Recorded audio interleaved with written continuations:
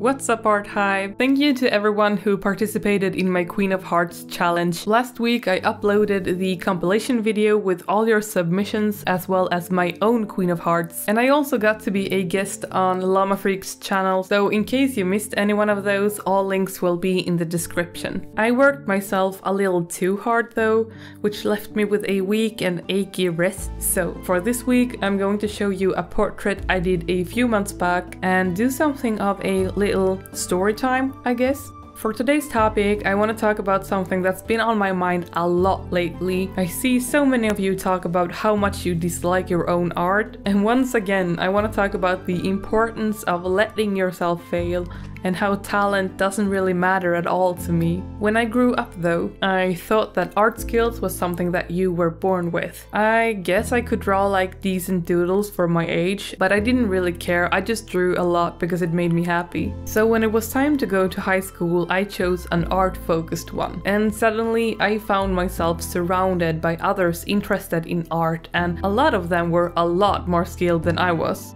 For the very first time, I had someone to compare my art skills with, and seeing all these people make cool art and compare it to my own was really hard for me. So when I left high school, I stopped drawing completely. I mean, apparently I didn't have the skills to become an artist, and I felt stupid and talentless. I didn't even want to try because I was too afraid to be disappointed in what I made.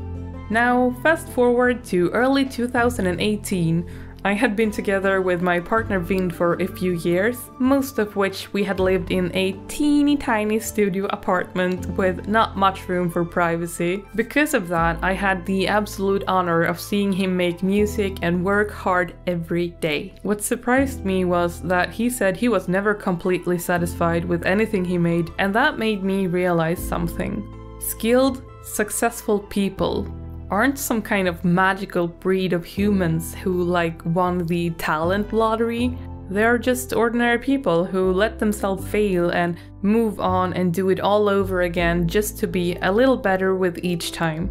At this point, I had finished a year of art school and I could see myself get better with practice. I slowly realized that skill has nothing to do with talent, and hard work will beat talent every time. And I can't really believe it took me so long to figure out something so basic, um, but by sharing this, I hope I can save someone a few years of thinking that they are not good enough. You know, just work hard and practice consciously and you will get there. So I ate a lot of noodles and saved up some money and did something I wanted to do all my life.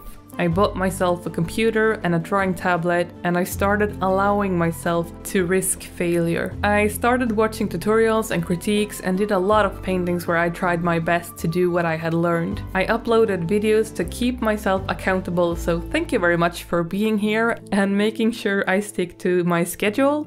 And you know, this could be a really good opportunity for me to just gently slip in a little please subscribe and hit the bell and then casually move on like like nothing happened. Anyway, learning to finish a piece, even though I'm not happy with it, is probably one of my biggest achievements in life. To be able to look at something and just say, okay, I will call this a finished piece, now what can I do better next time? It's really cool and you should try it. I'm still terrified on a daily basis, but that's okay. It's okay if my paintings don't turn out the way I want them to, because with hard work, one day they will.